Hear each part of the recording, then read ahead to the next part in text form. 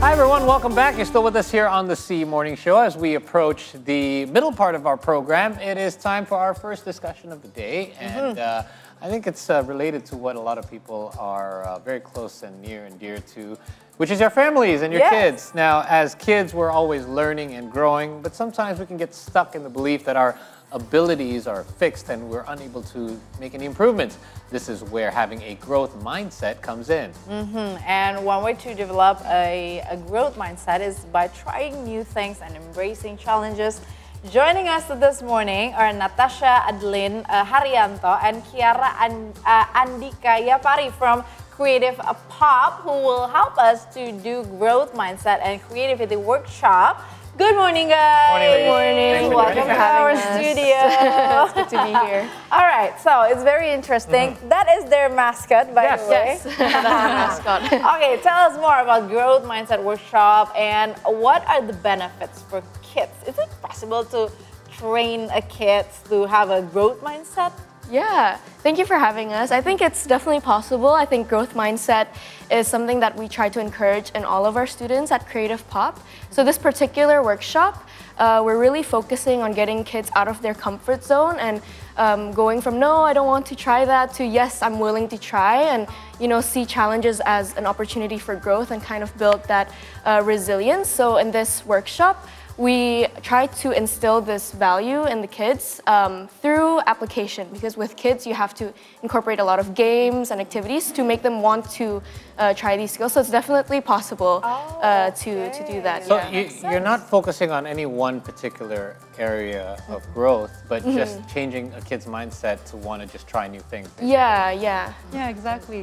And to add on to Natasha, it's not just possible to teach this to kids, it's actually the best time to learn growth mindset, right? Okay. Because Okay. it's an attitude that makes you, you know, be able to optimize anything that you learn.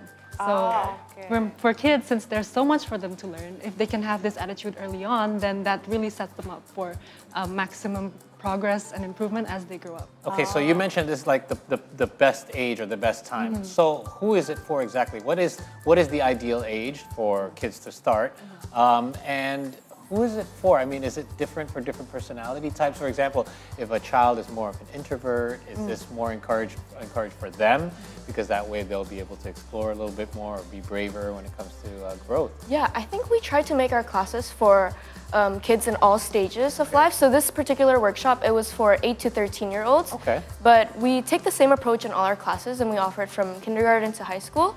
So we see it um, as something that can be applied for all kids. But like you said, some kids are a little bit more shy and introverted, Yeah. whereas others are a bit more outspoken. Yeah. So we don't try to separate them in the class, but instead we um, carefully like choose how we divide our attention and see who uh, maybe needs a little bit more guidance in that way. Yeah. Oh, okay. But nice to keep basically them this- together. right, Yeah, in exactly. They can learn from each other too. Right. Yeah, so yeah, because sometimes kids are you seeing uh, the friends who Yeah, like to do true. so, so they want to join with the activity and Yeah, everything. yeah.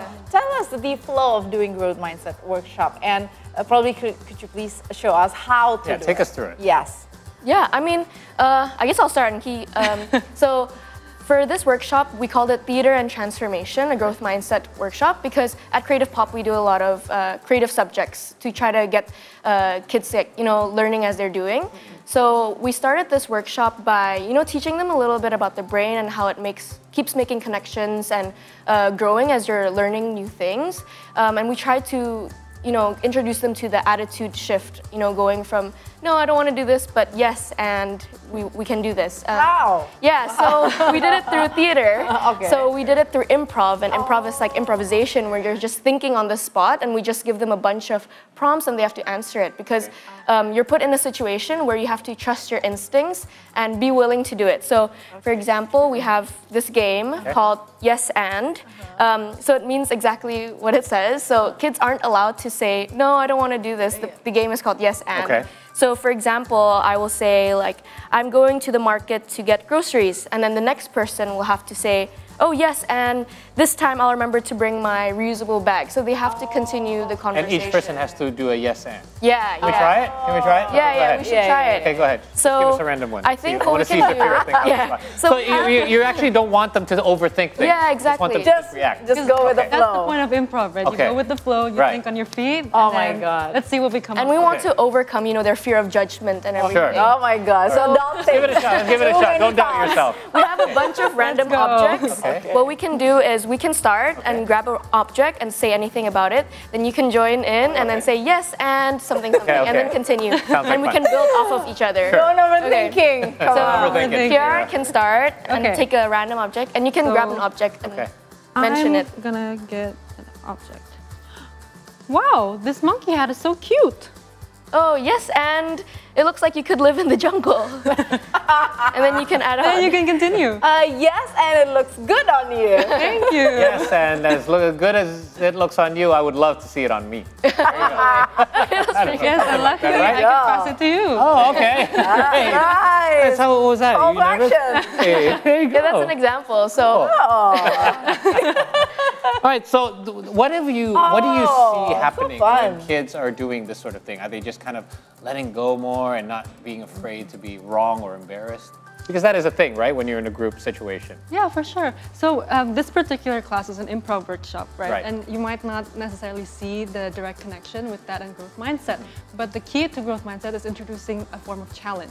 Okay. And improv is something that even seasoned performers can ch- struggle with. Yes. Right? Because, like I said, it's high pressure. You have to uh, think on your feet. Yeah. And you have to put on a performance at the same time. So, um, yeah, with this improv workshop, even though it's just a one-time thing, at the end, uh, throughout the three hours, we were able to see a progression in the kids. At the start, they were really shy. They didn't really know each other and were scared to get out of the Yeah, shell. yeah. But at the end, they put on a wonderful, wacky performance Right. that Yeah. everybody loved. I guess what it does is I can imagine it just kids letting their guard down. Yeah. It's like a nice icebreaker Yeah. because you all had a laugh at each other. Probably you can teach to ourselves.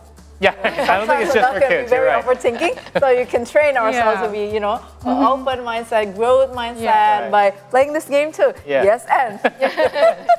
by say yes to We should everything. do this before every show. So, uh, what other uh, activities do you have in this workshop? So this was like the like kind of like an icebreaker for the kids A 'cause- warm-up. Yeah, warm up, and then it kind of build up to this final performance. So in all of our classes, we like to have kind of like a deliverable where we can see the kids apply the skills. So we have like an improv box, and basically we have the kids pick a random. Um, a random paper that reveals like a relationship. For example, classmates and a teacher, tour and a tour guide and tourist, and a setting. So it can be like in a train and all that, and uh, a conflict. So a type of Okay. uh, thing that they're trying to solve. Okay, So let me, I want to make sure you the can camera pick- can see this. Yeah. Because there are different um, categories here. Where can, which camera This can one. show? Yeah. So what? Inside. Yeah. So what she means right there is there. There's a column there on the left that says relationship, and then the middle one is setting, and the right one is conflict. Conflict. And inside are little slips of paper there. There you Ah. go. Right. Where? Okay. So take us through how this one works. So basically, we had the students take uh, a paper from Okay. each uh, box. One of each. One of Okay. each, and then they would have to make a whole performance based oh. on oh, the So they don't know setting, what the relationship. written. So you're giving them each guideline. Yes. and The then- box is the scenario. Oh, and okay. the. Amazing. You so you have to create a Yeah. story. Yes. We can try it out, and we can try make a Okay, cool. a skit. So Oh my you can try Okay. pick one from relationship. You can pick any, So let's each take. and you can read it Okay, out. we each yeah. gonna take Let's one. each take one. No pressure, One. Shafira. No pressure. Okay, let's see what we have. Ooh, waiter and guest. Okay, waiter and guest. And guest, And you can okay. pick from the middle column, the setting. This would be the setting. All right. It's, uh, I have a living room. living room. Okay. Okay. Living room? And I'll pick a conflict. a guide leading a tour through the weirdest museum ever. Oh my Okay. god. So, Okay, so put that together for us. so basically, the relationship between all our characters is some of us are a waiter and some of us are guests. Okay. And we're currently located in a living, Living room. room. That is also a museum. that is also a ah. museum. A very weird museum. Okay, right. In fact, the weirdest museum ever. what was the conflict again? So It's a guide leading a tour through a weird museum. Okay. Okay. All right. So how would this? Uh, okay, why don't you start us off? How would this work then? Is this a, usually a group thing as well, where you Yeah, after so it's the like a group performance with all the kids, and Okay. we usually give them time to discuss how they want to do it. Yeah. This Maybe a like- project, yeah. Yeah, to make a decision. So for Is this a example, kid like scenario of two the of you story, could the be plot? the waiters, Yeah, and you could be the exactly. guests Okay. at this museum, and Yeah. you create this whole set. How long is the performance usually? Usually it takes them five to ten minutes. Okay. Yeah, Okay. and then they do God, this is multiple rounds of it. So because there's so many options. Right. All right. it's important to realize that the goal isn't perfection, right? Yeah. Do multiple rounds so Yes. that they can get better and then they can Yes. themselves realize Right. how much easier it got the more that they did it. So Yeah, I notice your your exercises are not based on like correct answers, so Yeah. to speak. Like it's not. There's no right or wrong way to do it. exactly. Um, so how do you base your evaluations and how a child is accepting this and and, and progressing uh, in in regards to growth? Oh, you know, I think um, one thing about our platform is we uh, don't want it to be, you know, so results oriented, like you said, Okay. right? We think that the process of them learning is just Yeah. as important. Yeah. if so- not more important Yeah, Yeah. than we the end goal. True. right? Yeah, Agree. we really focus on character building and soft skills. So if we notice a, k- uh, like a student, you know, coming out of their shell more, taking initiative where they want to take it and want to try things out, to us that shows that, you know, that they're growing already. Um, and of course, like in a one-time workshop like this, it's a little bit, um, you know, unrealistic to expect them to go from really shy to like a really confident. Outspoken. Yeah, exactly. Right. So usually when we have recurring programs, that's when we can really see their growth, you know, becoming more comfortable around their friends and their tutors. Um, and you know, just being willing to be more active in the class, I think. Oh, That's yeah. important. So you have to kind of like monitor each child. Yeah, watch yeah. How they, each one grows Do the individually. 'cause everyone's evaluation. different. Mm-hmm. Ah, that's So we don't just have like one fixed evaluation, one like, one score Yeah. that we measure them by. Oh, There's lots of checkpoints along the way. So Yeah. if it, let's say it's a public speaking class, we're not just looking at how their speaking skills have improved, but we also want to see what are, what their attitude is like, Right. what their teamwork skills are like, how open they are to feedback and improvement. Um, those are also important goals for us to cover. How long for uh, for each programs uh, going? So we have a lot of weekend workshops like this where it's one time and it's like two to three hours long. But we also have uh, more recurring classes. Usually it's around six weeks. So we have six sessions, both online. Oh, um, is there any uh, like a level, level one, level two, something? So we don't have levels, but we have different approaches to each grade Oh, because we can't teach, let's say, a 14-year-old the same way we teach a four-year-old. Right. So we call it like our stage of creative development, Okay. and the types of activities we plan and how we approach the classes change depending on uh, on the student's age level. What yeah. kind of challenge that you guys are facing throughout this journey? I mean, kind of challenge? dealing with, with kids and uh, pre-teenage. right. You know, with kids, there's so many different personalities, and they're also changing every day, Yeah. right? So we really can't anticipate um, the challenges. And we try to make our workshops fun, but at the end of the day, there's always going to be some kids who, you know, we don't want to be here. And especially since we operate a lot in the after-school space, Yeah. um, usually they've had like a full day of like sitting in a classroom. They're drained, they're tired. They want to get on their phone. They want to get on their phone, they just want to go home, they want to eat. So it's really up to us to make sure that every student gets the best out of the experience. Um, and so that they realize, you know, we're not doing this for no reason. Like we want you to be able to enjoy the process, you know, have time with your friends, Yeah. um, and you know, be proud of yourself for improving, right? I have uh, I have a nice. recent a recent uh, discovery, which was I have a three-year-old boy, Mm-hmm. um, and if you move back uh, age-wise, he's a pandemic baby. So he basically Right, he was yeah. born right before the pandemic, and he lived through his entire first part of his life through a pandemic, which caused him developmental problems. And Mm-hmm. A lot of what was suggested to us that actually worked over this past year in helping him to develop quicker was create creative. Um, creative activities. Right, For yeah. example, I take him to a weekly art class, and just him playing with textures and paint in a sensory yeah. class allowed him to start speaking more. Yep. He, he's starting to be happier and less frustrating. I say all this to ask you, why do you think this creative approach, and perhaps convincing our, some of our viewers who aren't aware of this, that the creative approach is actually a very good way to help kids develop, especially at a young age? Yeah, for sure. I think um, a lot of people think of creativity as just, you know, just singing Fun. and Yeah. fun Yeah, and all yeah. these things. drawing. But, yeah, but we really believe that creativity is a, a lifelong skill that's really valuable to a lot of kids, or to start really young, because I think that it enables, you know, critical thinking, exploration, you know, taking initiative, and we think that it'll benefit them way beyond, like, as they grow older and they, as they start, you know, finding careers and everything. So um, we think that through our subjects, we really want kids to feel confident, you know, being expressive with their ideas, you know, playing, but with also intention. Yeah. Um, Because yeah, we think that it can develop to something bit greater when they grow up. It's, Yeah. it's not just one subject area. Yeah. In fact, I might say it's not a subject, it's a skill.